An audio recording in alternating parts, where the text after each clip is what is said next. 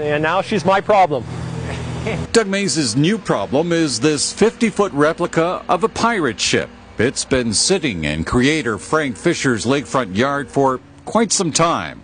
But like Mays says, it's now his problem. He really just wanted it to go to a good home. Construction of the boat began in 1981. It was supposed to be done by 1986 in time for the 86 Expo. Which unfortunately, like a lot of common boat stories, it didn't come to fruition, wasn't able to finish it in time. I'm 37 now, so it's been here for 30 years. Tara Fisher was just a kid when construction began. It'll be good because it's coming to use instead of sitting there on the mountainside, not doing anything, so it'll be good. But what do you do with a 50 foot boat?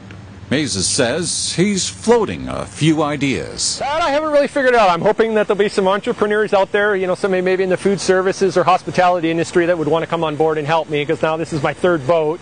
Wow. the ship is named Lady Katarina.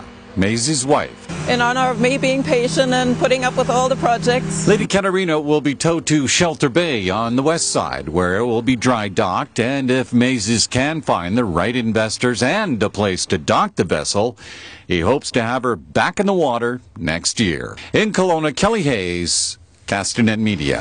One, two, three.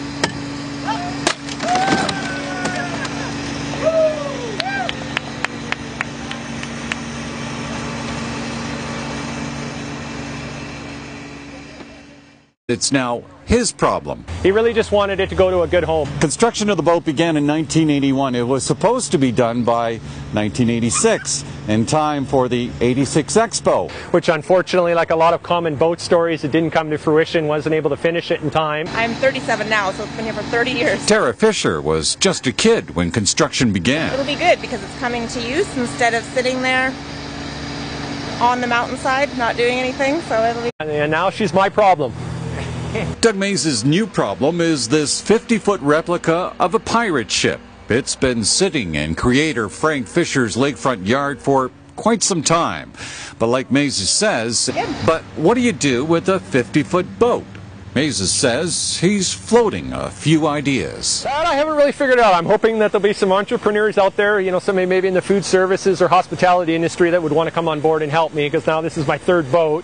Wow. the ship is named Lady Katarina. Mays' wife. In honor of me being patient and putting up with all the projects. Lady Katarina will be towed to Shelter Bay on the west side.